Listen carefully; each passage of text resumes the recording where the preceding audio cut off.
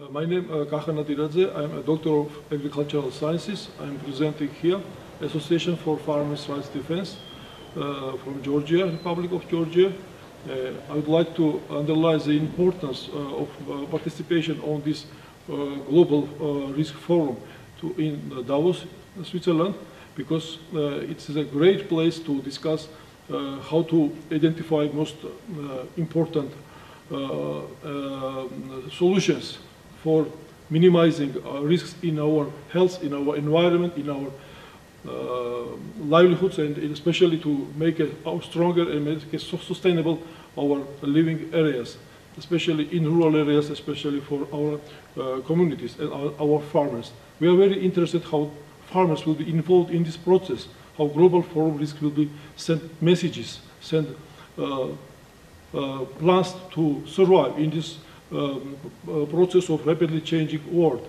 We think to enforce our knowledge, our expertise, our experience to minimize these risks and absolutely sure, I'm absolutely sure to uh, successful uh, outcomes as will be followed up to this wonderful event organized on high level.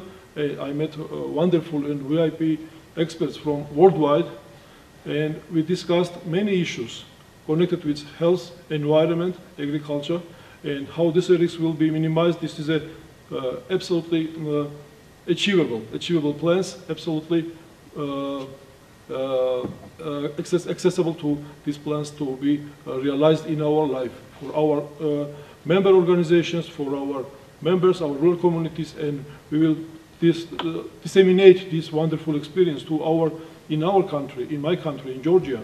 We are absolutely sure to identify the most uh, important, most important and most significant, significant messages for survivors to survive in this high risk uh, period living on this earth.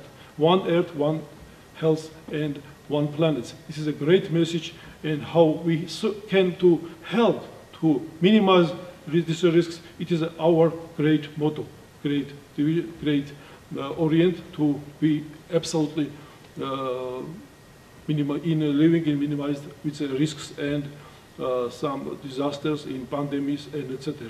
We need to have more sustainable earth, more sustainable agriculture, more sustainable and safe food for our children and new generation. Why sustainable development will be so important for our planet and for our people in our living areas. I thank to organizers, to especially to uh, Swiss National Foundation for sponsoring my presence here in Switzerland, in Davos.